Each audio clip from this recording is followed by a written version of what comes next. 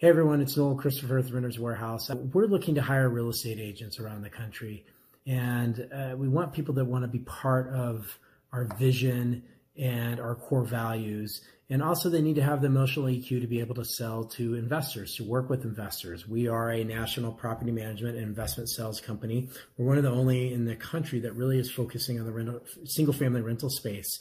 So we need those that have that emotional EQ.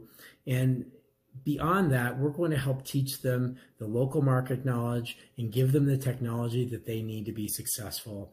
And we're really focusing uh, on those aspects in our business.